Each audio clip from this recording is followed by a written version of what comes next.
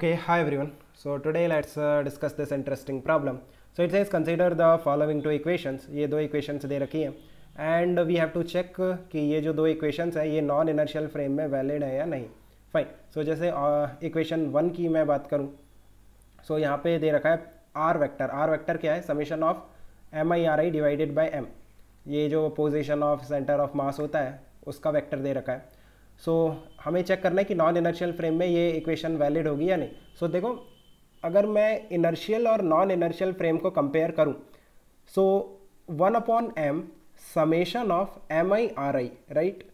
so it's nothing but uh, something like m1 r1 plus m2 r2 right? Up to dash dash divided by M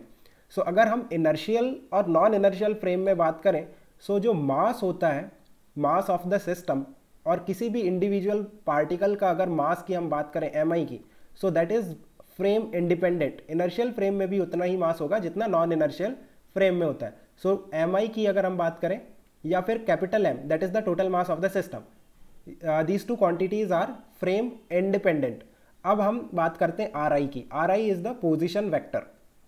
so देखो position vector is also frame independent अगर किसी time T is equal to zero पे आपने एक reference set कर लिया right once you decided your reference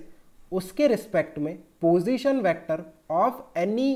particle right let's say M I particle का जो पोजिशन वैक्टर होगा R I that will be frame independent once you have decided your frame मान लो time T is equal to zero पे हमने इस point को अपना frame ले लिया। सो डजेंट मैटर कि ये जो पॉइंट है इनर्शियल फ्रेम में आपने लिया है या फिर नॉन इनर्शियल फ्रेम में, जो डिस्टेंस है और you can say the position vector of M I